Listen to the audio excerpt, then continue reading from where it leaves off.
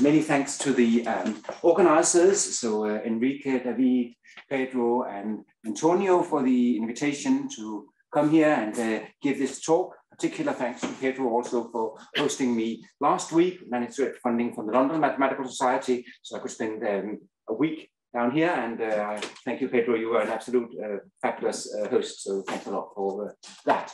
All right, so um, I have taken the description of this being like a mini course, fairly literal, in the sense that I will try to actually give some proofs. I'll also give quite a lot more background uh, detail, perhaps, uh, than I normally would in a research talk. So I hope this should also be accessible for a, um, a variety of people, including people who wouldn't even uh, know what uh, a CK space associated with an almost disjoint family really is and what they're good for. So Basically, uh, to give you a quick overview of what I uh, plan to do, well, today I will start by telling you what almost disjoint families are and uh, what they're good for. Why should we care about them as uh, Banach space or Banach lattice uh, theorists? And then, having said that, I want to give you some background um, of CK spaces, and in particular, I want to highlight some recent applications of uh, CK spaces associated with um, almost disjoint families uh, to kind of motivate why I thought this was a timely uh, talk to give here. And um, next thing, I want to try and explain what my background, where I come from. I wouldn't really claim that I'm a um, Banach space theorist and certainly even less a Banach lattice uh, theorist. I'm much more like uh, coming from an operator theory uh, background. And so I want to tell you something about Banach spaces with few operators. And in order to connect that to my main topic, I want to uh, zoom in on CK spaces with few operators, uh, in particular, what that even uh, means. All right. Then I want to uh, give you some fundamental uh, facts about what I call the Mrówka space. So this is this um, um, locally compact uh, topological space that is associated with an almost disjoint family. And um, finally, I will give you some consequences today of the main theorem. I'll give you about a COK space with few operators. So I shall talk about self-maps, compositions, um, operator ideals, uh, characters, Okay, and that I think will take me to the end of um, this hour and a half. Then tomorrow, just a brief uh, view ahead of time, I will try and outline the um, uh, proof of the main theorem. Um, that's the part that is uh, joint work with Koszmider, where some of the other parts are as well. And then I want to sort of uh, link this with um, topic of automatic uh, continuity of the homomorphisms from, well, what I call B of X. And, uh, well, coming from operator theory, it's perhaps not surprising that means the bounded operators on the Banach space X. So thank you, Alejandro, for totally messing that up yesterday. And, um, well, then uh, finally, I want to talk about some uh, work that's ongoing with my student Max Arnott, namely to try and look at um, various Banach spaces X and for those decide when all the quotients of that particular B of X module or any of its uh, closed ideals has a unique uh, algebra norm. But that's uh, going to be the topic tomorrow, so um, that should hopefully take me to the end of the uh, three hours. Okay, so back to the start, almost disjoint families. So I write um, square bracket n superscript omega uh, for the uh, collection of infinite subsets of the set of natural numbers. Not that I think it matters here whether you include zero or not in the set of natural numbers. I usually don't, but as I say, if you prefer it that way, I think that's fine. This is perhaps a slight uh, mix of notation because obviously the omega stands for infinite in sort of ordinal notation, and the n, I guess, is sort of more standard uh, mathematics, but it seems to be uh, widely used. So that's a symbol I will um, use. And then uh, by an almost disjoint family, we, we, we understand a collection of infinite subsets of the natural numbers, such that whenever you take two distinct sets in the family, their intersection is finite, all right?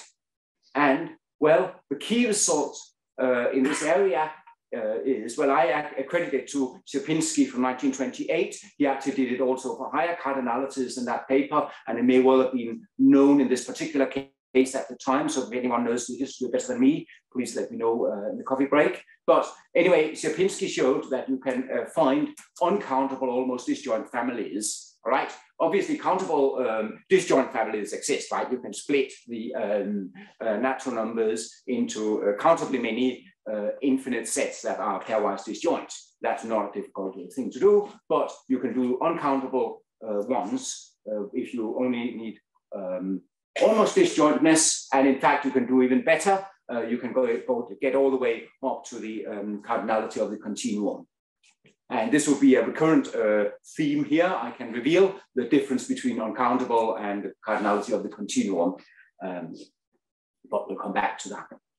So, as I say, I want to make this like um, accessible, like a mini course. So I thought I would tell you how to do these, how to construct almost uh, disjoint families. If you've never seen them before, uh, you may think this is a somewhat uh, obscure uh, object. It is, but they're actually uh, incredibly easy to uh, construct assuming that you know how to do it. I think if you don't know how to do it, it's not so easy. And uh, so the first, I'll give you two constructions. In the first one, we uh, replace the set of natural numbers with another uh, countably infinite set, namely the rational numbers. Of course, we can do that. There's nothing special here with the um, um, with the for the natural numbers. I mean, the fact that they are nicely ordered and whatever doesn't matter at all, right? In the definition, if you want, once you have an almost disjoint family of um, subsets of Q, you just take a bijection with the natural numbers and you get one from the natural numbers. Okay, and the idea now is that uh, here we have extra structure, right? Because we can pick an irrational number, say R, um, and then we can find a sequence of rational numbers that I denote as Q subscript N in the sequence and superscript R for the limit, okay, which converges to my uh, irrational number R. And now my uh, sets in the almost disjoint family, they will simply be the um, elements of this uh, sequence. This is clearly an infinite set, right? Because I started with an irrational number R, so the uh, sequence must have infinitely many uh, distinct terms. It can't be eventually constant, okay? Uh, so that would be my um, the sets of my almost disjoint family. So I just need to check they are indeed uh, almost disjoint. I do that contrapositively. So assume that we have two irrational numbers R and S, and the intersection of these uh, sequences um, is infinite. Well, of course, that means that I can extract a common subsequence from the two um, sequences here. So the first one here, Q and R, that converges to R. The second one that converges to S, okay? So if they share an infinite or uh, an infinite subsequence, then of course the two limits must be the same. So, uh, uh, as I say, by contraposition, what I've argued is that the uh, if R and S are distinct, then the intersection of these two uh, sequences is um, finite. And well, that's my almost disjoint family. And of course, it has cardinality C because we know that there are continuum many irrational numbers.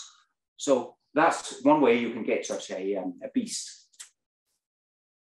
Okay, so the second way I think I should just uh, draw a picture because it's much, much easier to uh, basically uh, draw it and illustrate it. And it uh, builds on the binary tree or the Cantor cube or whatever you, however you want to um, think of it. So let me just try and draw a binary tree here.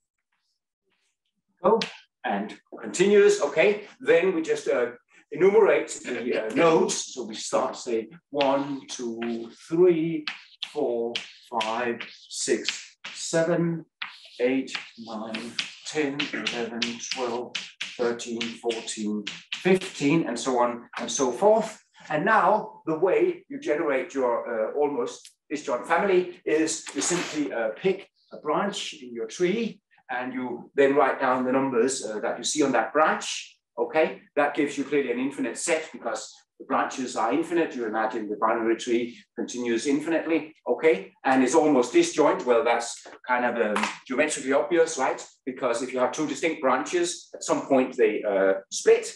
And after that point, they never come back together because it's a tree. So once you have uh, taken separate paths, you never uh, see uh, each other again, right? So that's the uh, that's the sort of the picture, and um, you can then check everything works. So I think I wrote out on the slide how to do this in um, say more uh, formal or symbolic mathematics. So uh, in that case, I think we start with the Cantor cube, so the um, uh, sequences of zeros and ones, so functions from the natural numbers into zero one. Okay, then basically what I've written down there, m n of f. So f now is my infinite branch what I call m n of f. They are, that's the nth number along the uh, path here. Okay, so if you write them out in binary, this is uh, just binary expansions, like one is just one in binary, two, of course, is one, zero, three is one, one, four is one, zero, zero, five is one, zero, one, six is one, one, zero, and seven is one, one, one, and so on and so forth, right? And you will see each time I shift down uh, one level, I basically put a number um, one in front and I shift, okay? So that's how we, um, how this builds up. Okay, so basically, this is how you see these the, uh, correspondence with the numbers. That what I've written up there is just a binary expansion, or well, the number, the sort of a, if you like, base 10 expansion of the number that in binary would start with the number one, and then you have these um, here, zeros and ones afterwards. the reason why I must start with the number one, by the way, is that otherwise, say, if you just had the sequence zero, zero, zero, zero, right, that would just constantly give you um, uh, zero, so then you wouldn't get uh, new elements, you wouldn't get an infinite set out of that, right? so you can see, for example, the branch that goes over here, that's the one that uh, corresponds to the constant zero sequence in that picture. All right, and then, as I say, M of f, capital M of f, that's the collection of these numbers along the branch. And well, now what, what remains to check is that this family is almost disjoint and as I said before in the picture, this is simply because uh, when two branches, I mean, two branches will be and be initially the same, but then eventually they split and then they never come back together. And if you write that out uh, more formally, well, you pick K to be the um, first time that your two um, sequences differ. And then because of the way my enumeration uh, goes, right, that my n of f only goes up to n minus one, well, then turns out in that case, you can check that when n is less than or equal to this number k, then mn of f and mn of g are the same. So that corresponds to say my second branch. See, my second branch was this one here, right?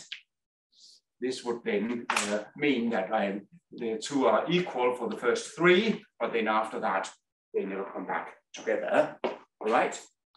So therefore, this uh, collection here of these uh, infinite sets, that's a um, and um, that's an almost uh, disjoint family. And of course, the cardinality of this uh, binary tree is the continuum.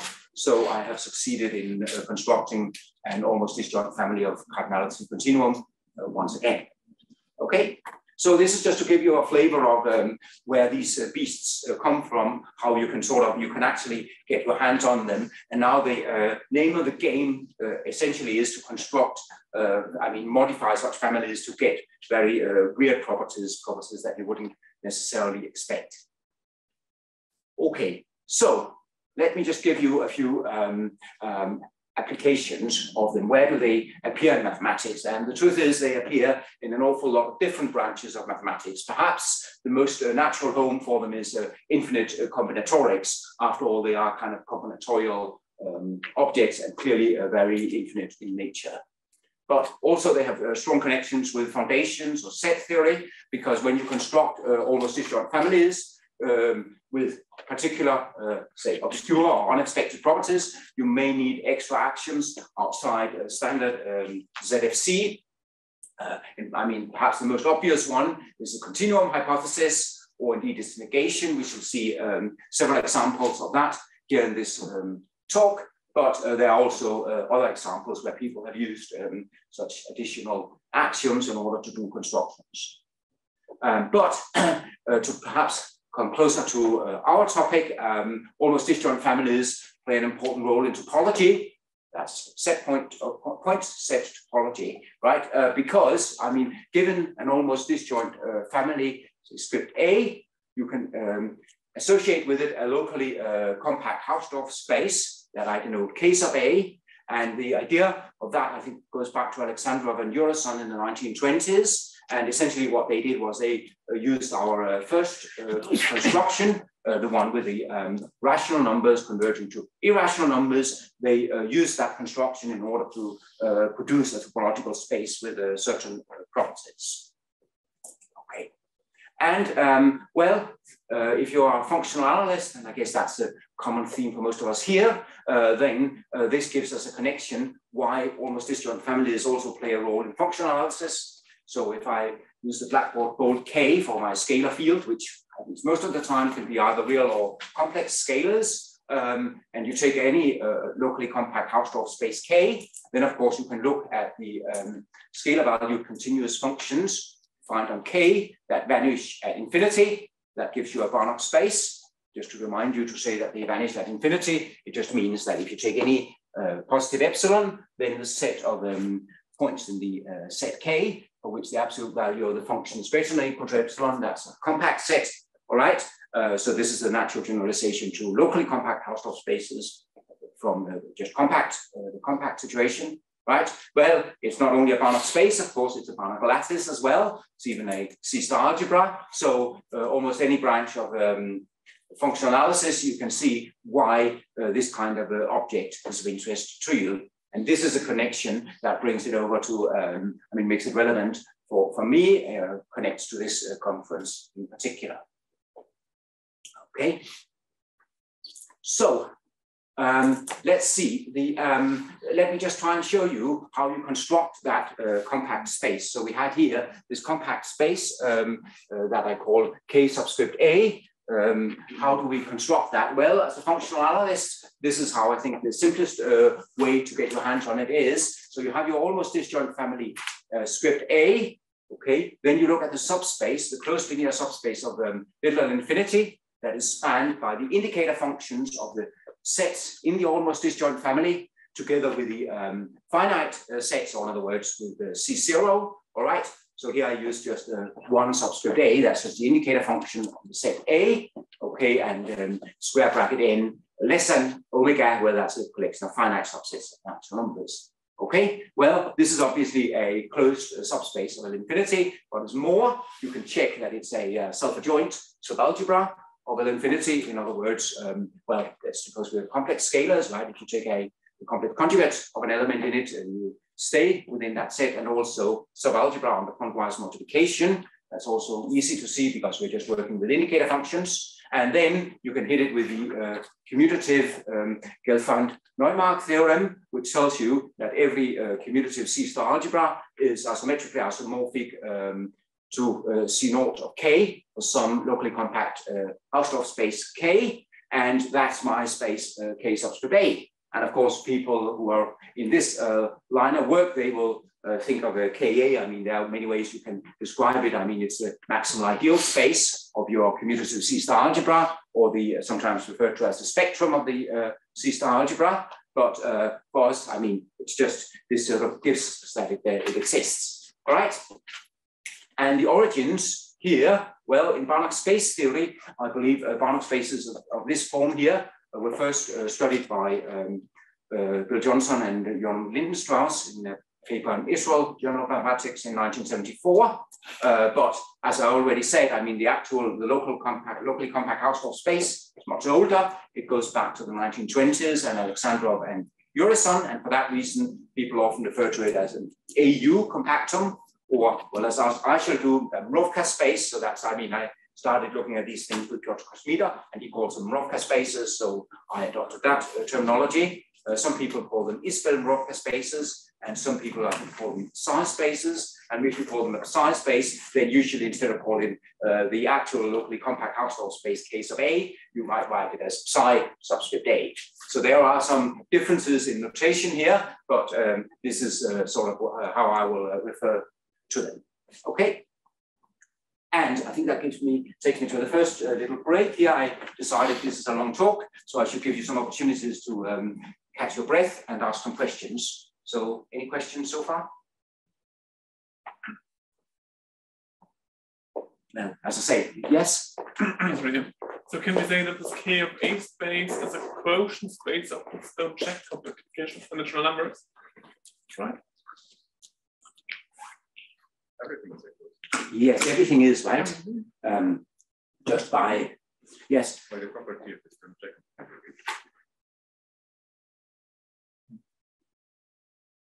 Everything which is everything was uh, introduced against. Every compactification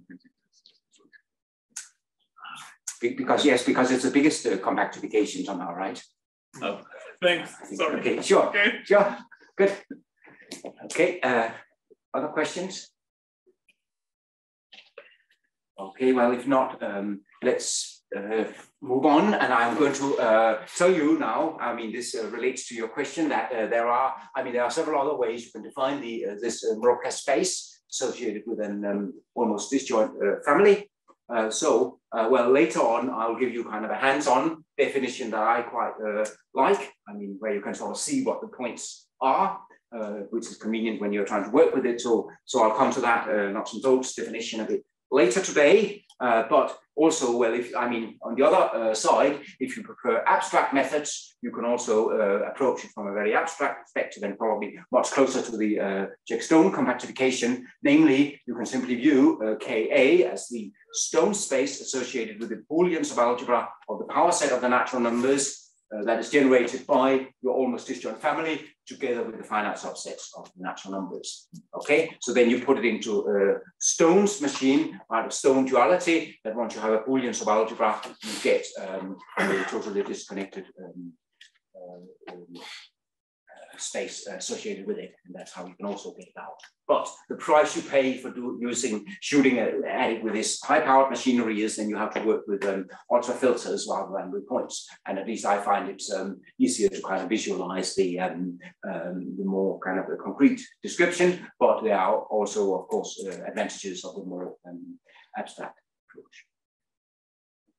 So just a very basic remark here if you take two distinct uh, subsets of the natural numbers and you look at the um, infinity distance between their um, indicator functions, it's obviously one, right? There is a point where one of them is one and the other one is zero, okay? So that tells you that um, one almost disjoint family uh, A, uh, the associated space X of A is separable if and only if the almost disjoint family is countable.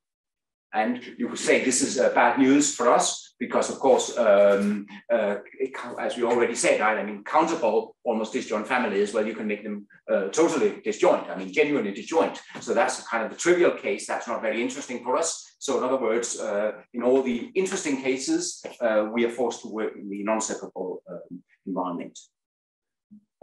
Um, so let me also uh, say a little bit about uh, terminology here before uh, I trip up. So, I mean, a C of K space, I think most people would agree, is uh, simply a space of continuous functions defined on some compact Hausdorff space K.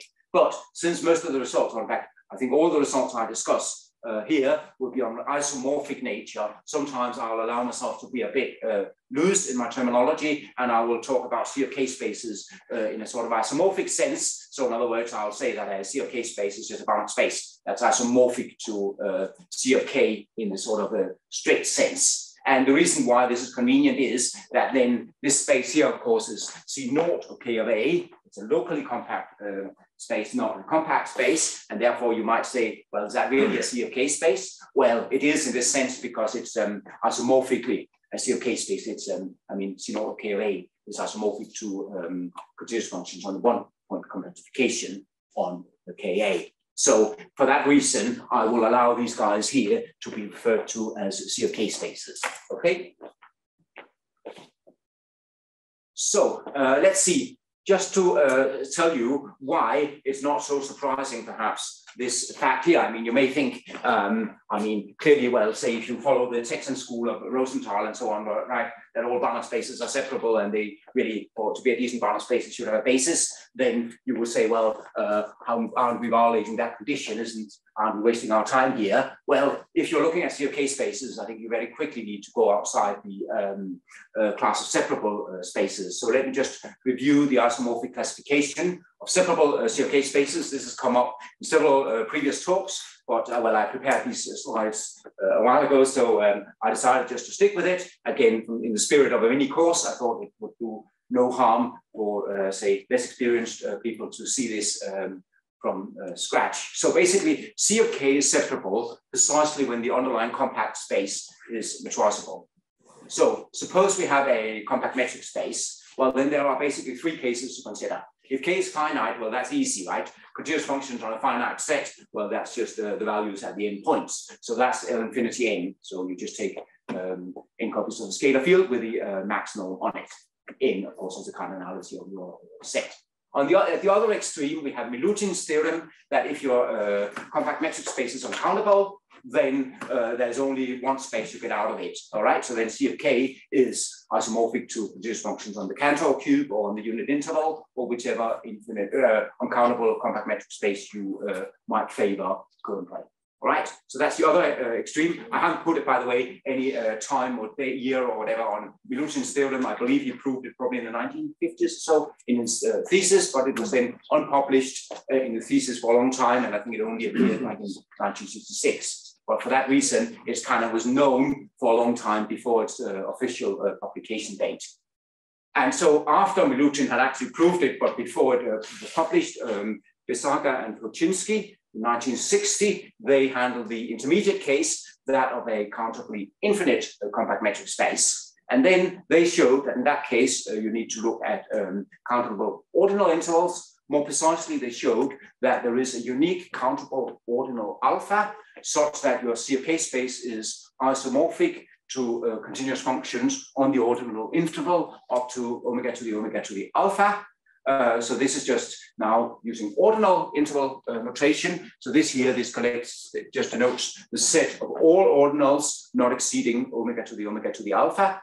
And I put the order topology on that, right? Incidentally, I should also perhaps explain that for me, this symbol just means isomorphism. It doesn't mean isometric isomorphism in case anyone wonders. I think some people use it um, in that sense. And well, the uh, modern way of finding the ordinal alpha that appears in that uh, formula there is by the uh, index. I think that was also mentioned yesterday. And the reason is that whatever the Szlenk index is, it's an ordinal index. You can hit a um, an Asplund uh, space with it. And if you hit your uh, this particular space with it, well, then that will give you, that will spit out omega to the alpha plus one. So that way you can basically uh, see what alpha uh, is. So this result is due to Samuel from uh, 83. And um, I put modern in quotation marks because uh, some people may think that something that is uh, nearly 40 years old is hardly uh, uh, the latest fashion of the day. But of course, uh, modern here refers to the fact that this is not how um,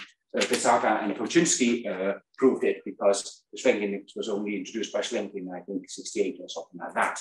So um, this is a much more recent way of doing it. And in fact, I mean, there's been significant um, um, interest, progress in the study of Szlenk indices in the last, whatever, uh, 10, 15, 20 years. So this is actually quite a modern topic to uh, study Szlenk indices in Banach spaces, but I'll not go into that at all. I just wanted to mention this in case anyone is interested in how you sort of can do your hands-on calculations here.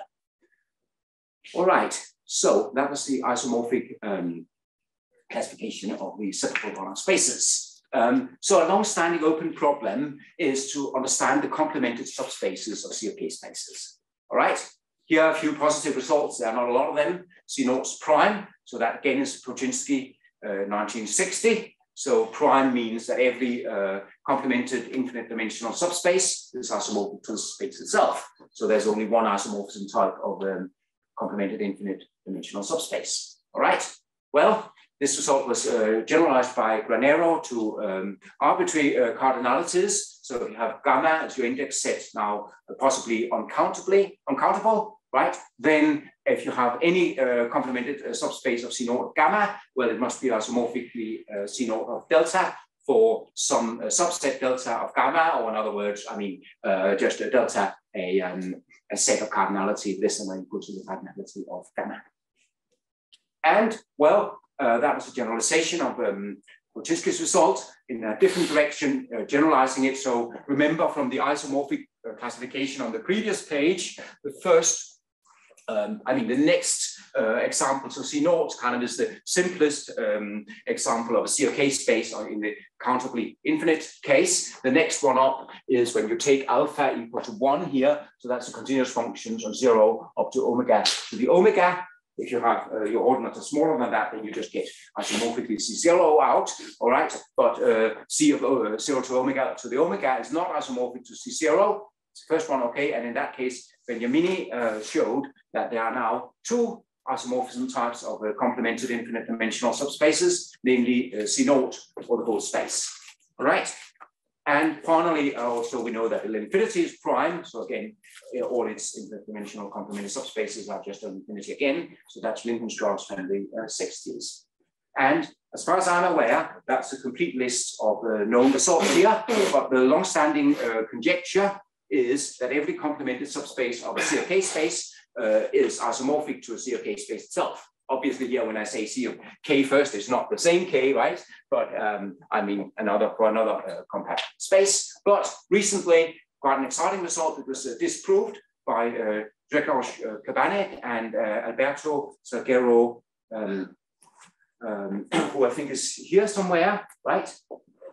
Hi, yeah, okay, good. Yeah, so he's going to uh, talk to us uh, tomorrow. So um, and I hope we will hear more about this result, but I wanted to uh, flag it up here, first of all, because uh, this is an important part of my motivation for picking this topic here. I realized that there are many um, applications of these um, Mrówka spaces these days in Banach space theory. They really have quite um, exciting applications. All right. So this uh, preprint that I think appeared on the archive in November last year if I'm not mistaken, where it says there is an uncountable almost disjoint family A with the property that C naught of um, the uh, space associated with A contains a complemented subspace, which is not isomorphic to uh, COK for any uh, compact uh, space K. So uh, the conjecture uh, was disproved using such uh, spaces. Okay, and well, I should say, however, that uh, the conjecture is still open for in a separable case. If anyone fancies a challenge, I think that's a really, really hard problem.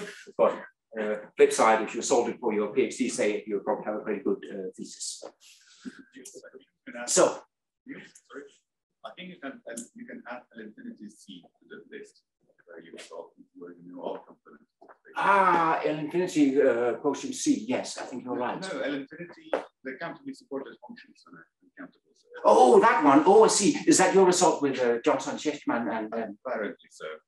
Oh, I see. Okay, well, okay, yes, okay. I should update that one with the fifth point. So, um, what Tommy's saying, let me just write it down because um, so this is the space that is usually called um, what do you say, L L infinity C, right? Of um, for any gamma. Yeah. Okay, so you take any countable, um, sorry, you take any uncountable uh, set uh, gamma, and then you look at the subspace of L infinity gamma consisting of those uh, functions that have countable support. And then again, you can get, and I guess you get a sort of the analog of uh, Granero's result, right? That everything will be of a similar form for uh, something of possibly smaller cardinality, right? Okay, thank you, uh. Okay, so uh, also in that uh, preprint, um, Gregor and uh, Alberto uh, show that uh, you can also uh, use this construction to get an exotic example of an extension of Banach spaces. So more precisely, you can find an uncountable almost disjoint family A with the property that if you take, well, C naught of K of A contains a subspace isomorphic to C0, but when you take the quotient modulo that subspace, the quotient space you get out is not isomorphically a COK space.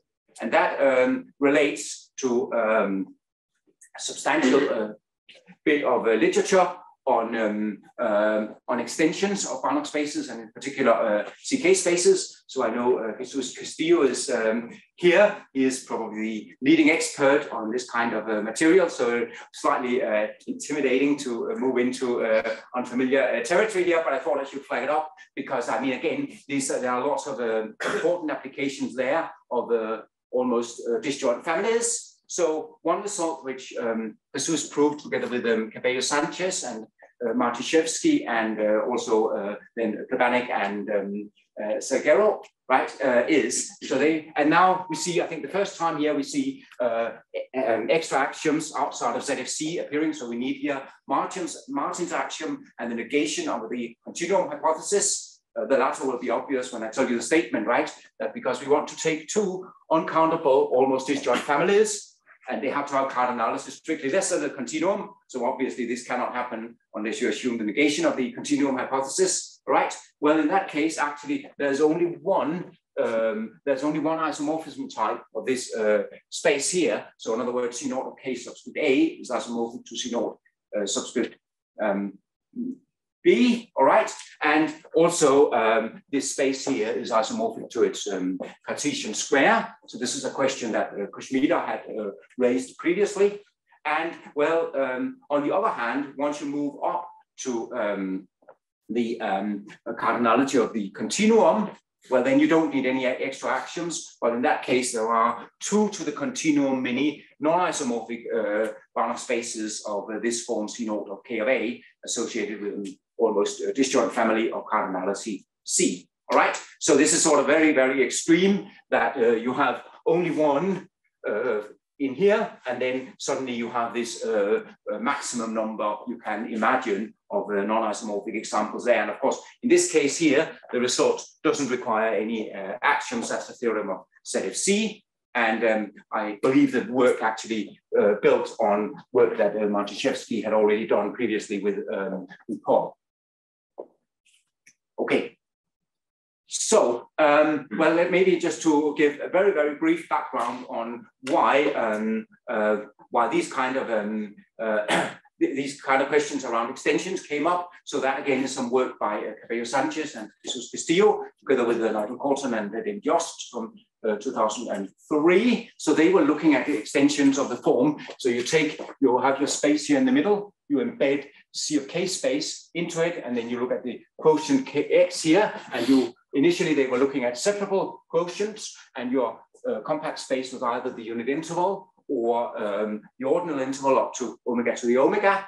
And um, well, but in that study, they also uh, raised a, a, question that turned out to be rather uh, intriguing and uh, important. It was non-separable, and uh, it was motivated by a Sobczyk's theorem. So the question they asked was that now if you move beyond um, retractable uh, compact Hausdorff spaces, so in other words, if you pick a non-metrizable compact Hausdorff space K, is it possible that whenever you take C naught, you embed it into um, X in such a way that the quotient is C of K, well, then that extension must split in the category of Banach spaces. In other words, just meaning that X here is a direct sum of the quotient and the uh, image of the C naught, all right? And their belief was that uh, the answer should be no. So that's the CCKY conjecture. CCKY stands for uh, Cabello, Castillo, Kalton, and Yost, I believe. Okay, and well, that was then around for a while and motivated some very good uh, research. And I just give you the uh, resolution here, because again, an almost disjoint family uh, pops up here, because uh, Marciszewski and um, again assuming Martin's axiom and the negation of the continuum hypothesis, well, they showed that if you take an uncountable almost disjoint family of cardinalities with less than the continuum, then every extension of this form here splits in the category of Banach spaces. All right. So in other words, there's no interesting way of putting um, C naught and C naught Ka into a Banach space X. If you wanted, you have to make a direct sum of them. All right. Um, so that basically showed that at least consistency, consistently, you could find a negative solution to the um, CCKY conjecture. But um, later on, uh, joined by Antonio Avilés, um, Marciszewski and Plebanek then uh, uh, showed that if you go to the other uh, side of the equation and you now assume the continuum hypothesis, uh, so that of course that rules out any example of that form, and as soon as you rule those examples out, well, then actually um, for every non-metrizable compact Hausdorff space K, there is an extension of this particular form which doesn't split. So in this case, if you assume the continuum hypothesis, then the CCKY conjecture is true, right? So that was uh, all I wanted to uh, say about this. Um, I should admit I'm not a specialist in this area, but I thought these are quite uh, important results to also motivate why we as uh, Banach space or Banach lattice theorists should be interested in um, these uh, compact Hausdorff uh, spaces associated with almost disjoint families. Okay, so um, another break. Uh, questions? Yes? Uh, sorry, could you show again the slide with the C CCKY conjecture, with the conjecture? Definitely, that is. Okay, thank you. Sure. Other questions? Okay. Right. So, I have admitted what is not uh, my uh, expertise, maybe I should say what I do know a little bit about. So um, as I already indicated, I mean, I'm really more from an operator uh, theory uh, side of the uh, world. And so the question I want to uh, motivate, what I'm going to focus on mostly here is what operators must exist on an infinite dimensional Banach space. Okay, so back to the beginnings. So X now is just a general Banach space, could be either real or complex. And uh, script B of X is uh, the collection of bounded linear operators on X. And I will always just assume operators are bounded and linear. Uh, and the question is, how small can B of X be? Well, we always have the identity operator, of course.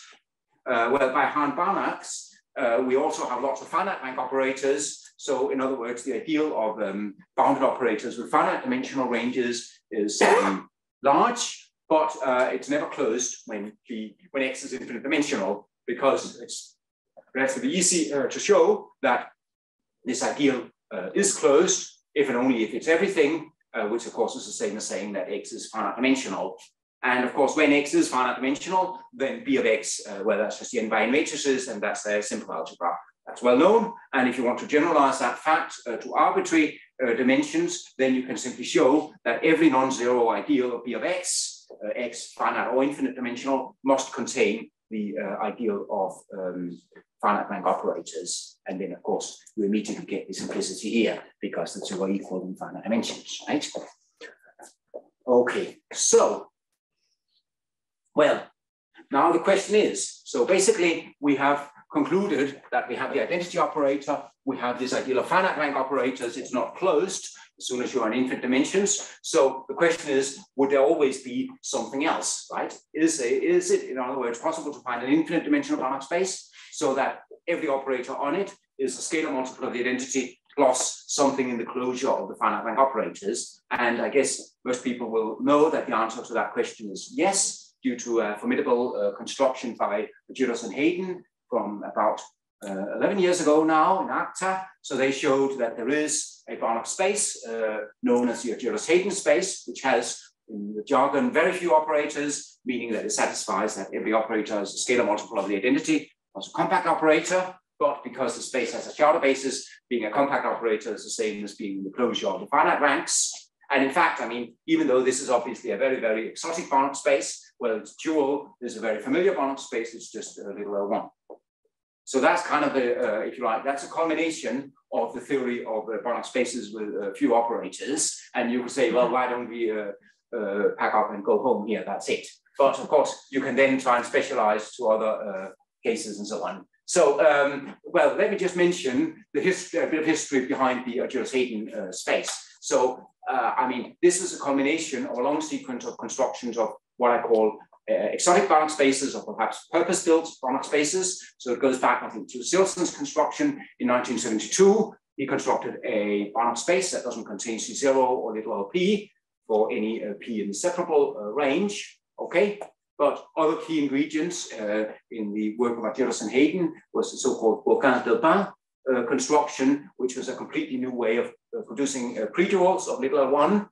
Um, also, uh, the so-called Schlumprecht space. So in the late 1980s, uh, I think uh, Thomas Schlumprecht produced a modification of the Tsirelson's construction that gave an arbitrarily distortable Banach space. I'm not going to go into the details of that, but basically once Schlumprecht had done that, then Gowers and Maurey um, picked up from there and did a further modification of it, and they uh, obtained what's called a hereditarily indecomposable Banach space. So what's hereditarily indecomposable? Well, it means that if you take any of its infinite dimensional subspaces, it's indecomposable in the sense that you cannot write it as a direct sum of two infinite dimensional subspaces. Right? So in other words, not only is the space, the only complemented subspaces of the space have uh, finite codimension or finite dimensional, uh, but also that applies to every uh, closed subspace of it. All right? And well, the relevance of um, this space uh, to few operator agenda is that Gowers and Maurey, at least in the complex uh, case, they showed that every operator on an HI space here must be a scalar multiple of the identity plus a strictly singular operator. And uh, again, I apologize, uh, Alejandro, I conflict with your uh, notation here. So for me, the script S of X is the ideal of the strictly singular operators. Uh, so um, just to remind you, an operator is strictly singular if whenever you restrict it to an infinite dimensional subspace, what you get is not isomorphic embedding, or in other words, it's not bounded below. So every time you have a positive epsilon and an infinite dimensional subspace of X, you can find a unit vector in that infinite dimensional subspace such that uh, the norm of the image under S of it is less than epsilon. All right, so that's, so the strictly singular operators, I mean, for many um, purposes, uh, they can play a similar role of um, compact operators. They have kind of a small ideal, in particular, in the realm of Fredholm theory and so on. Okay, um, I think the situation here of uh, the few operator statement is slightly more complicated. If you go to real scalars, you could get uh, things like the Quaternions or the complex or something. But um, so let's just stick with that one there for, the, uh, for now. Okay, so um, let's see. Okay, so perhaps, I mean, so so this was the background of the Argyros Haydon, and as I say, that's the most spectacular uh, result. But to kind of bring this back into the CFK uh, space context, uh, let's just try and uh, focus on particular classes of Banach spaces. All right, and the earliest example I know of a Banach space that can be claimed to have uh, few operators is due to Shelah, and again, Shelah needed a um, an additional axiom, the sort of uh, so-called diamond axiom, and what Shelah proved in 78 is there's a non-separable Banach space such that every operator on it is a scalar multiple of the identity plus an operator with separable range. All right, and you can now see, so here script X here stands for the uh, closed operator ideal of operators uh, that have separable uh, range. Okay, and you can again see how this is sort of exotic and it shows in some sense few operators, right? You would expect on a non-separable space, there should be lots of operators with non-separable range but not necessarily so. Okay, um, well, further uh, results along those lines. Well, 10 years later, uh, Steprāns uh, joined Shelah and uh, they managed to get rid of the diamond axiom, so they got an example within ZFC. Uh, then for his PhD, Hugh Wark constructed a reflexive example, and then much more recently, um, he came up with a uniformly uh, convex example, um, although I think he said he actually knew how to do that for a while before it came out print, okay? And so the connection with our topic here is, I want to look at what it means for a COK space to have few operators, all right? So, um, well, um, this is where I again want to remind you that when I say CK space, I'm satisfied to be isomorphic to a CK space because this is of an isomorphic uh, nature, what I say here, all right? So well, first to, to do that, we need to look at the background, the literature, to actually decide what should it really mean for a CFK space to have few operators. I mean, an ambitious uh, person like would say, well, why don't we try and do an Argyros-Haydon construction and get scalar multiple of the identity cross uh, compact, right? Well, I'll tell you in a minute why that's impossible. So Pełczyński, again, um, in the 60s, he proved that the following three things are equivalent for an operator from a CFK space into any kind of Banach space. So being weakly compact, being strictly singular, and not fixing a copy of C0. Uh, what does it mean to fix a copy of C0? Well, um, that just means that you can find a, an isomorphic copy of C0 within your uh, domain space so that the composition TR is an isomorphic embedding. And of course, I mean, fixing a copy of C0, basically what it says is if a, an operator defined on a CFK space is not strictly singular, well, it's not just that it fixes some infinite dimensional subspace, it actually because it fixes a copy of C0 in particular. So that's what Pełczyński uh, showed. And well, in a remark in uh, my paper with the plot, we observed that actually um, uh, you cannot um, you cannot expect any analog among CK spaces of the Gowers-Maurey K space, and let alone uh, the Argyros-Haydon um, case because the ideal of weakly compact operators must always have um, infinite codimension in the BFC of K. In fact, even more is true. This uh, quotient uh, algebra here is always uh, non-separable. I was a bit surprised this didn't seem to be anywhere in the um, literature, so we decided to put it in our uh, paper. But if anyone is aware, of it being known, uh, please do let me uh, know. But basically this says that if you're trying to construct something like scalar multiple identity cross weakly compact, it's not going to happen if you restrict yourself to um, COK spaces. All right, so let me instead say what you can do in terms of um, uh, COK spaces that can reasonably claim to have few operators in light of this. And so the first example, I think, is due to Piotr Koszmider. Uh, that's the space with um, so-called weak multiplications. And the starting point of that construction is that whenever you have a C of K space, let's say Banach algebra, you have a pointwise multiplication of functions, right? So in other words, you have an ample supply of multiplication operators. Every time you fix a function f, you can take the pointwise product with f, that will give you a new um, uh, function C of K, and this is obviously a um, linear operator, okay? So they, they will always be there. And what Piotr did in 2004 assuming the continuum hypothesis, but shortly afterwards, um, uh, Gregor Plebanek came along and got rid of it, so he moved the theorem to within uh, ZFC. Uh, so um, the theorem is that you can find an infinite compact Hausdorff space K, so that every operator on it is such a multiplication operator plus a weakly compact operator or a strictly single operator if you prefer that language. All right. So that I think has a reasonable claim of being a um, a few operator space in the sort of spirit of um, Gowers and Maurey, right? And let me just uh, point out here a few things about this CFK space. So CFK is a Grothendieck space, meaning that on the at the level of the dual uh, space, uh, weak weak star sequential convergence are the same thing. So in other words, I mean, if you want to tell apart the, I mean, you know, this is a, um, a non-reflexive space, so you know that the weak star and the um, weak topology can't be the same, but in order to distinguish them, you need to move to uh, nets. You can't just get away with sort of undergraduate maths and uh, pretend that nets are see, see their sequences are enough and so on.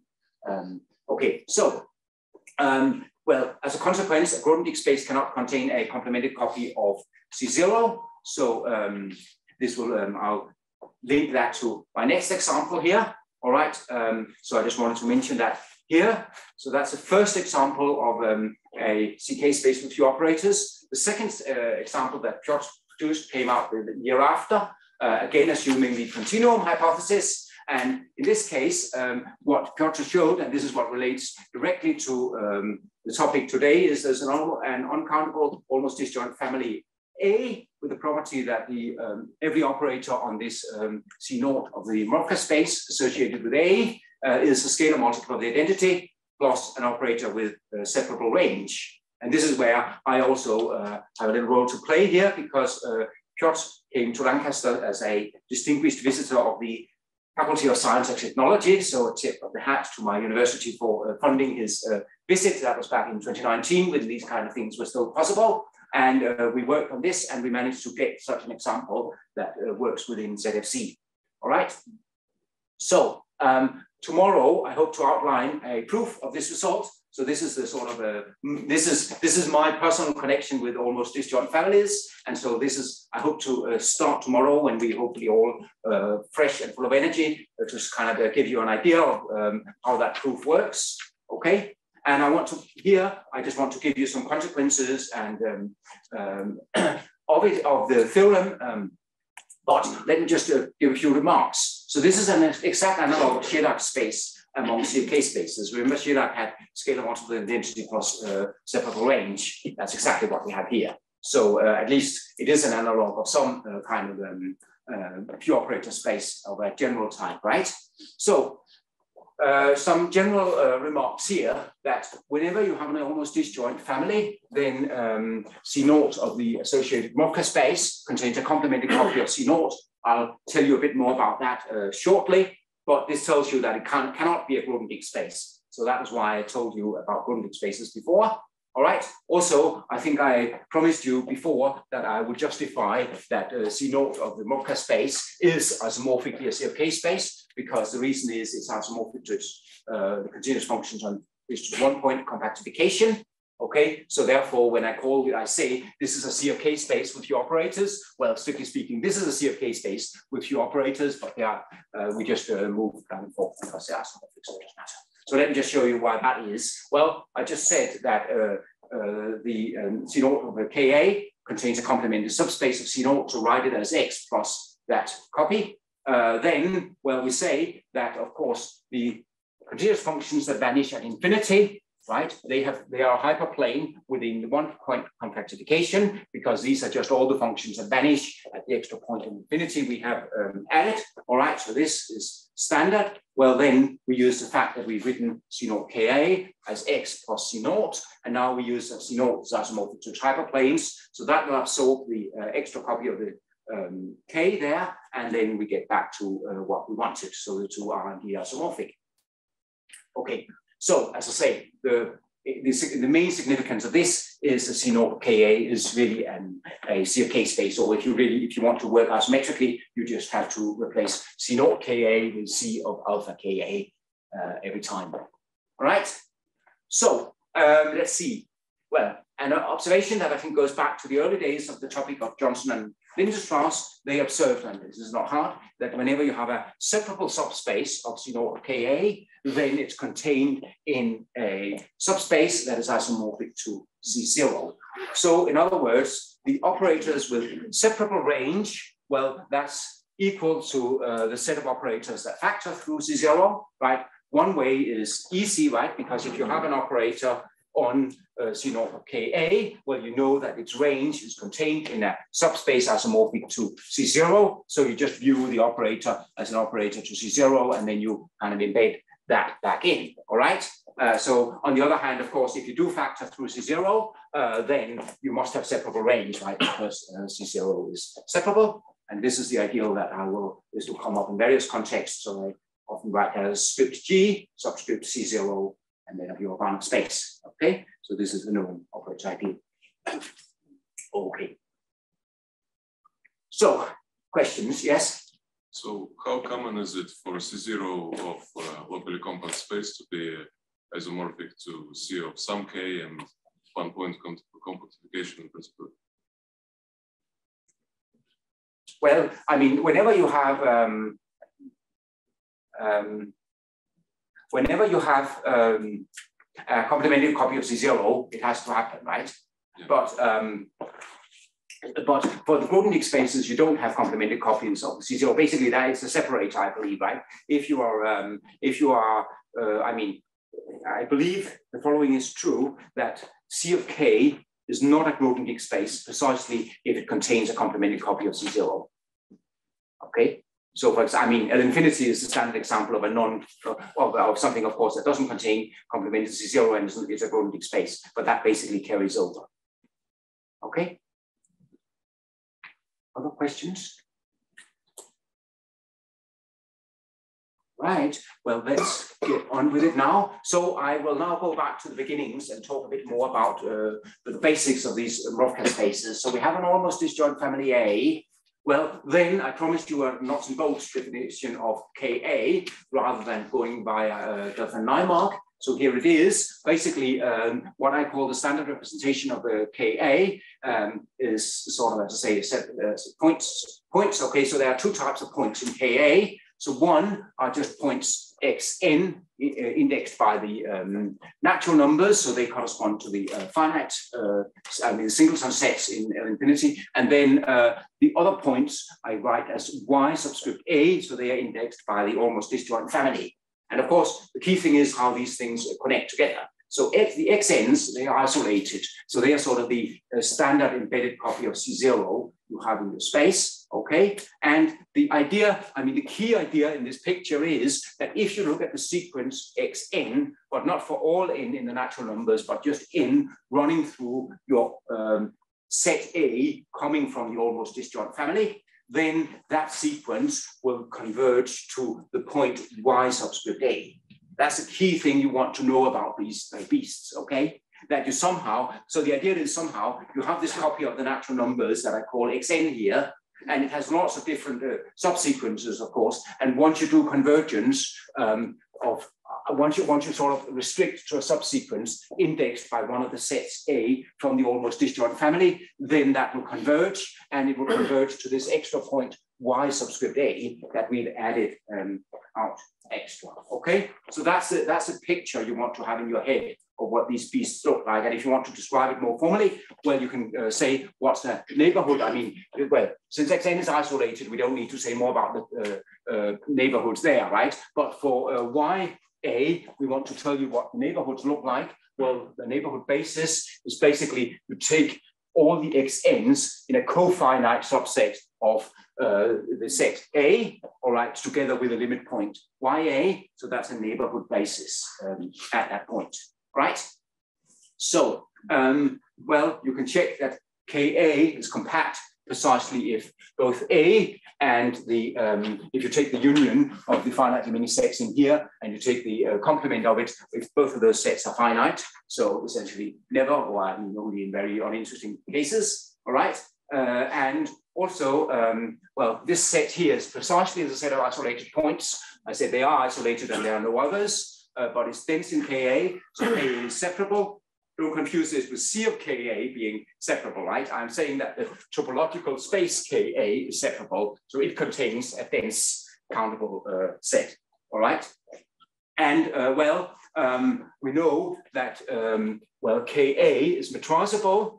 In general, that's equivalent to saying that your topological space is second countable, and that's the same as saying that uh, the almost disjoint family A is countable. So again, we get back to, as I said before, I mean, countable almost disjoint families are not terribly interesting. All right. Um, and in any case, of course, in, in that case, I mean, when we are in the metrizable case, we have a full classification of COK spaces, so we might as well work with that. All right. So uh, if you look at the complement of this set of the discrete, um, of the, sorry, the, um, the isolated points, well, then you get the YAs, well, that's a closed subspace, and it's a discrete subspace as well. Okay, and well, the important consequence of this is that Ka is a so-called scattered uh, space. So that means that whenever you have a non-empty subset of it, it contains a relatively isolated point.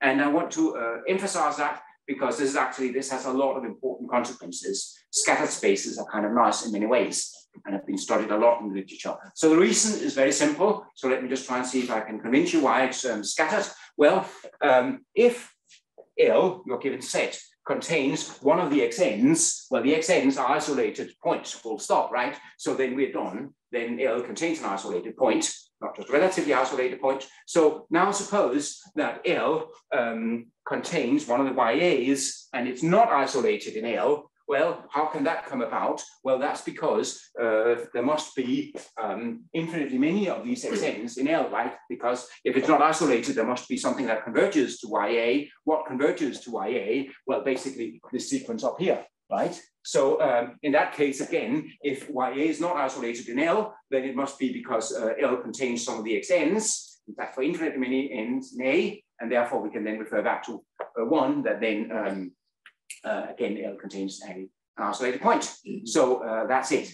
Okay, it's easy to see this as a scattered space. But as I say, the significance here is that uh, we know lots of things about uh, C of K when K is scattered. So first of all, so you know, Ka is an Asplund space. Asplund spaces have loads and loads of equivalent definitions. The one I personally find easier to remember is that every separable subspace of an Asplund space has separable dual. All right, so we know that, and I believe that's probably even equivalent to being the underlying space being scattered. We also have uh, Rudin's theorem, which I think probably also characterizes um, the um, uh, being scattered. So the Rudin's theorem says that the um, dual of the C of K is um, little l1 on the corresponding uh, set. So remember, the dual of the C of K in general consists of measures, and what it says here is just that all the measures are the point masses. That's the sort of um, that's the significance of that statement there. So in other words, when you work with scattered spaces uh, and you look at a dual, you don't really need to know any uh, measure theory because you're just working with uh, point masses, right? But this will have an important consequence for me that I want to uh, use tomorrow, because if I take an operator on naught K of A, I take a function in naught K of A, and then I take a point in K of A, then of course I can uh, take, apply the operator T to the function. That gives me a new function, so I can evaluate it at S. And let me just see, well, I can write that as, of course, a point evaluation delta S applied to uh, T of F, all right? Then I can shift my operator T over by duality. And then I use the fact that uh, this guy here is just an element of little l1. So what is uh, little l1 duality? Well, you just sum up over all the um, uh, values. So this one here right, is a sum of uh, point masses, right? So how do you do that? Well, this is the uh, outcome, right? We just work out what is the value here on the point mass and we pair that up with the function value at that point mass, all right? So um, the and I mean the way we think of this is a kind of matrix representation, right? Because if you think of your function f as a column vector, and then here we're sort of summing across a row of this uh, matrix here. So that's the picture you want to um, have in mind for this, right? That this object here, so T star applied to the point mass at S, and then the value of that um, measure at the singleton set T, where you want to think of that as a matrix representation of T. But of course, the uh, price we pay is this is a rather large matrix because it's in, indexed by this um, very large um, uncountable uh, set case of A. All right. Then another theorem that I uh, want to mention is what I call the LPP theorem after uh, Lotz, Peck, and Porter from 1979. So uh, they showed that C naught of K of A is saturated with uh, complemented copies of C naught. Okay. Uh, again, I mean, it's not specific to C naught K of A. This happens because it's a scattered, uh, because K is scattered. Okay. So not only do we have uh, some complemented copies of C naught, we actually have them everywhere. So whenever you take a closed infinite dimensional subspace of C naught of K you can find a sub further subspace of it that is isomorphic to uh, C naught and complemented in the whole space. Okay, so we'll use that a little bit later. Okay, so let's see. Um, let me just explain about these complemented and uncomplemented copies of um, C naught. Well, if A is countable, as I say, then uh, C naught K is separable, and then Sobczyk tells us all copies of C naught complemented. In fact, I think in this case, it's not that hard to see that C naught the Ka must actually be isomorphic with C, C itself. So, um, so that's uh, that. Let's forget about that. A is, has to be uncountable to be interesting, okay? Well, you have the canonical copy of C naught in here. So that's the one spanned by the, um, the indicator functions at the isolated points that I call the same. Okay, that's never going to be complemented. And in fact, with um, my former student, Ben Horvath, we did a uh, generalization of that fact, sort of related to um, results about L infinity. So we showed that if you have an operator on C naught K of A, which kills this canonical uh, copy of uh, C naught, well, then actually it must kill an awful more less, uh, an awful more um, else, because you can then find a subset of your almost disjoint family say a prime of the uh, same cardinality and has uh, the property that your operator T must kill all these functions as well. So this is essentially saying that um, you cannot find operators that has um, this, uh, the closed linear span here, which is what I call the um, canonical copy of C naught. Uh, you cannot find operators that have those as the kernel. And this is an analogy to the situation for L infinity. You can't find operators on L infinity that will have exactly C naught as the kernel. This is a generalization of um, the fact that C naught is not uh, complemented in L infinity. Anyway, that was a bit of um, digression. Um, it's easy, I claim, to construct a complemented copy of C naught in there. So let me just try and show you that, just to give you an idea of how you work with these, how you can work with these uh, objects. So take uh, set A in the almost disjoint family then, uh, well, these um, indicator functions at these uh, isolated point masses, well, because they're isolated, they are continuous, right? So, uh, and they're clearly uh, disjoint. So uh, that would give me an isometric uh, embedding of C naught into my space, all right? And then on the other hand, so to go back again, I now want to go back onto C naught. How do I do that? Well, I have a function f in C naught Ka. I can evaluate it at xan and then I can uh, subtract the value at ya, which is sort of the limit point. All right, well, this will give me an element of C naught exactly because the XANs, by the basic property, they converge to YA as n tends to infinity. And uh, therefore, uh, my operator V maps uh, the whole space into C naught. And it's easy to see it's linear and bounded with norm two. And then I just do a little calculation to see what happens when I compose V with U. Well, if you apply u to the uh, standard basis vector of c naught, say ek, what do you do? Well, u of ek, now I have to put k instead of n up there, so I take get the function, the indicator function of xak, all right, and I put that here twice, corresponding to those, then I have to evaluate them at xan, and I have to subtract the value at ya, and n is now my index. Well, this of course is easy to do, right?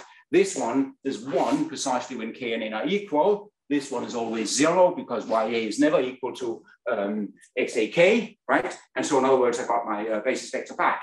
All right, so the composition VU is uh, equal to uh, the identity operator on C naught.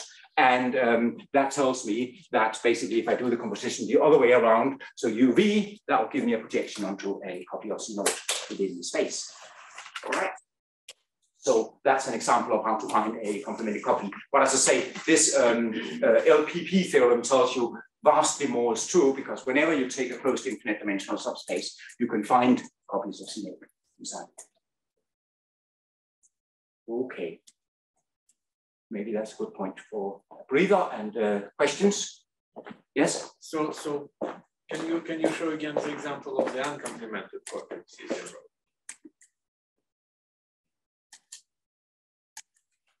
Yes. Um, that's the that's the the one I call the canonical copy. So that's the span of the um, one xn's. So the major difference between the complemented and the uncomplemented copy is that, that you subtract the limit.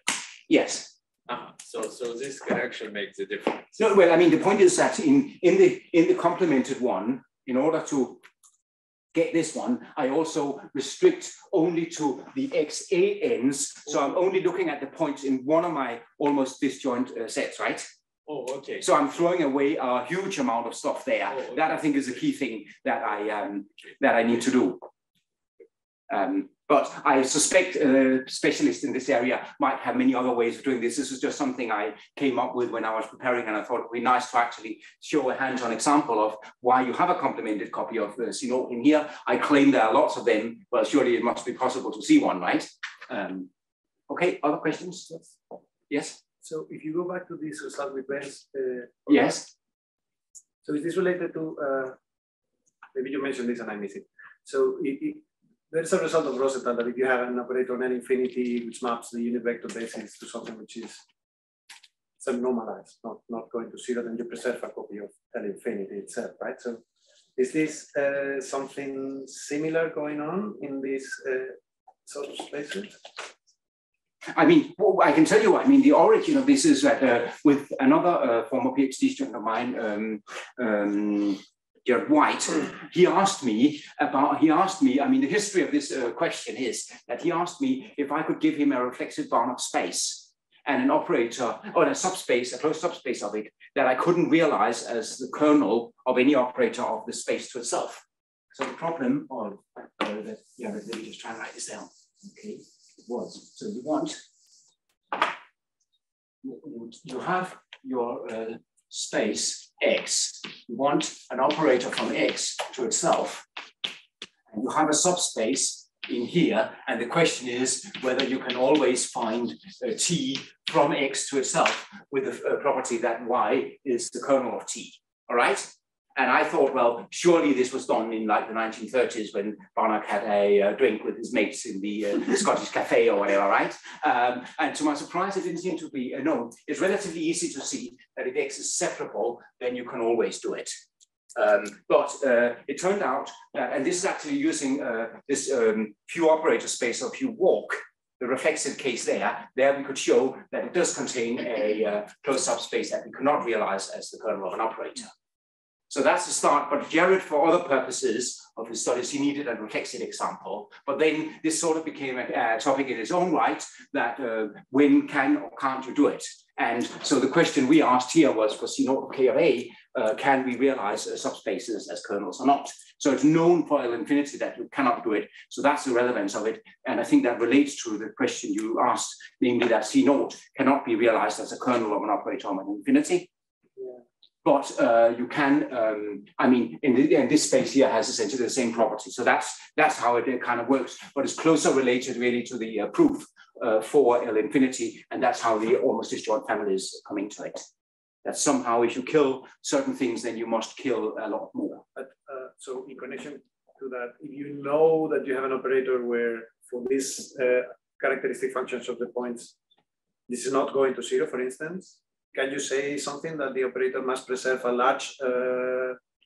Ooh, we didn't we didn't think of it in uh, that way. Um, that's that's a good question. Actually, that's an interesting question. Um, we, we didn't uh, say we, we didn't uh, think of it uh, that way. We should uh, we should probably see if there is something related to to that there. Okay, thank you. Other other questions? Okay, let's see where we got to. Okay, so now I want to give you some consequences of our uh, main theorem in the main last 15 minutes or so. So remember this was the uh, main theorem about a few operators. And whenever I want to uh, refer to this uh, identity here that I call star there of the few operators, I'll just sort of be brief and say that my almost disjoint family A admits few operators. That's a shorthand for that. So the first result uh, we managed to get in the paper was if you have a, I mean, so this is strictly a topological result, right? If you have a, a continuous self map from the locally compact uh, space Ka to self, well, then either it has countable range or it must fix all but countably many points of Ka. So this is sort of an analog of having a few operators that here we have few continuous uh, self maps.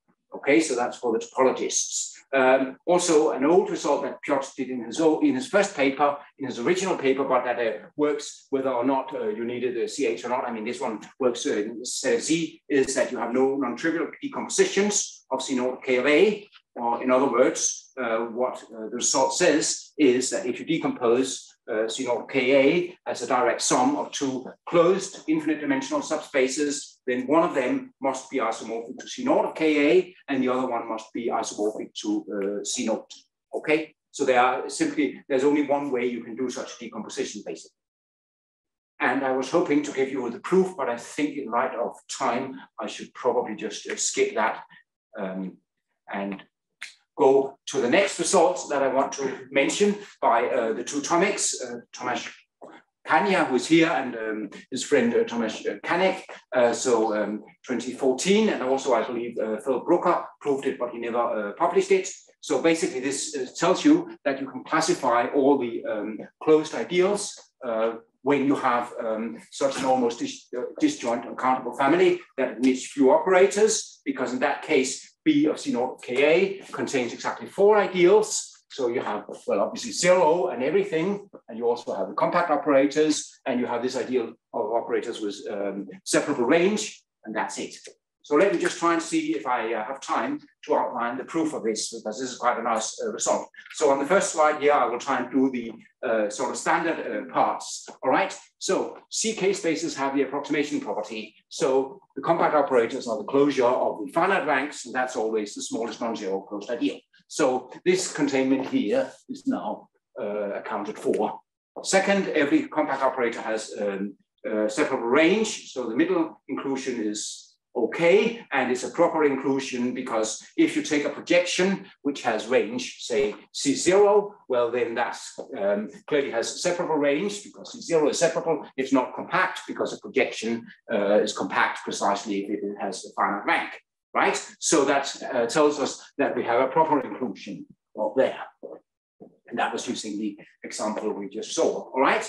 Well, finally, um, of uh, well, the ideal of operators with um, separable range is proper because the identity, I mean, the whole space is non-separable, so the identity is clearly not an operator with a separable range. Okay, but of course, by the uh, few operator assumption, uh, this ideal has codimension one in here, and therefore it's a maximal ideal. Okay, there can't be anything further in between the two. Okay, so all that remains to show is that um, this ideal is contained in the ideal generated by any non-compact operator, right? We know this is the smallest non-zero ideal. Suppose we take an operator which is not in there, then if I can show that the ideal generates contains that bar there, then I'll be done, right? Because then there's nowhere, no, then there can't be anything else. And this will follow from the fact that the identity on C uh, factors through every uh, non-compact operator. Let me just try and convince you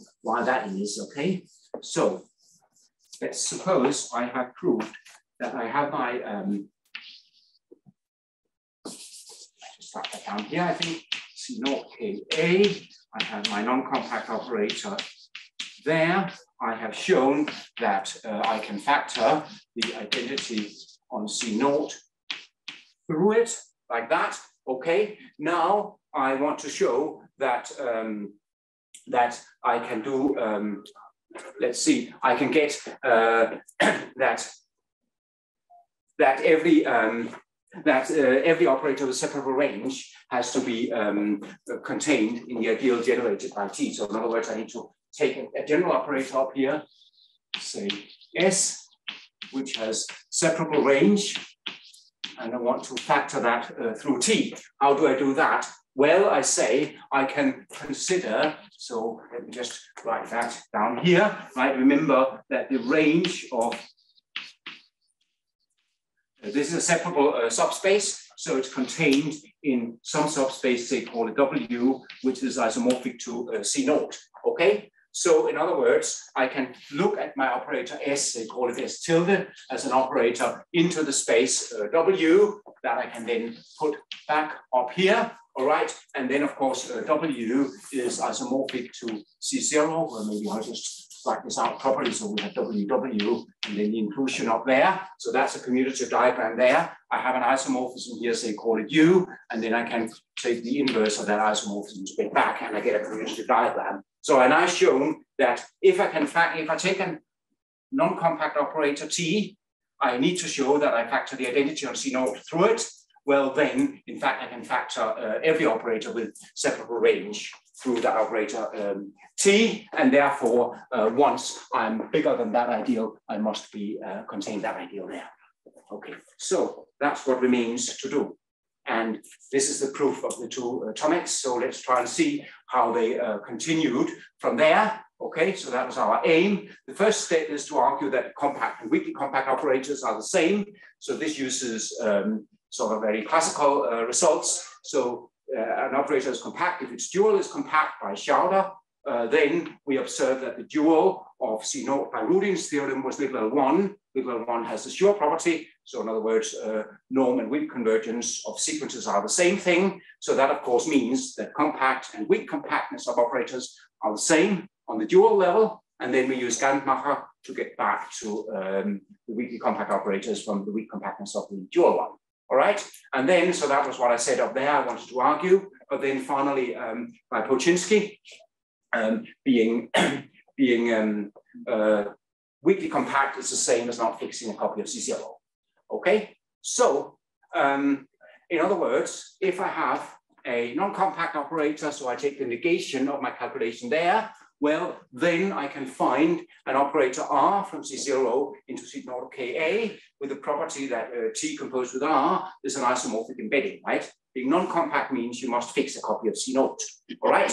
Well, in particular, then the range of that operator, when it's isomorphic to C0, is uh, in particular closed and infinite dimensional. Then I fire this uh, Lotz-Porter-Peck theorem at it to con conclude that uh, every uh, closed infinite dimensional subspace uh, here contains a further subspace Z with the property that is isomorphic to C naught and is complemented in the whole space. And now I pull that back to C naught along my isomorphic embedding here. So I get an isomorphic copy of Z over in C naught. And well, then I just uh, say, well, because TR is an isomorphic embedding, then the restriction of TR to W is an isomorphism up to Z. It has an inverse S. And now I need to check some diagram chasing that uh, I done what I promised. So uh, that I think again is best uh, drawn here on the board to try and show you how this works out in practice. Okay, so the idea is we see, we start up here with the identity on C0. Okay, then we say that uh, Z was isomorphic to C0. So we go into Z here. Okay, so this is U, this is the identity, and this is U inverse. Got my notation right there. Yes. All right. Then I have an operator S that maps Z isomorphically onto uh, W. All right. And S is an is inverse of the restriction of TR viewed as an operator from W onto Z. So I'll just decorate my symbol in a slightly uh, excessive way there. Okay, to just say that if I compose, if I first do S and then I do TR, but I stay onto W, then I get back into Z. All right, so that's what I know. And now I'm nearly there. All right, because now what do I do? Well, I put W back into C naught. Then I go over with R, that takes me into C naught of KA. Then I go, then I apply T, and I project that down onto Z, all right? And if you look at that diagram there, well, this, this uh, bit here also commutes, right? Because what have I done here? Well, I've embedded W into C naught, applied R, then T, then gone back down onto Z. Well, that's exactly the same as just doing RT and regarding it as an operator into uh, Z. All right, so that's a commutative diagram as well. And now I have the factorization that I want, right? Because I simply start up here I go down here, that's my first operator, that goes from C naught into C naught KA, and then to get back, I do that one there. All right, and this is, I think, what's written out, but in slightly uh, harder to interpret uh, or unpack notation there at the bottom. All right, and okay, I think that takes me to any questions, uh, break, and um, maybe this is a good point to uh, stop for today. But uh, if you have any questions, of course, I'm very happy to uh, try and answer them.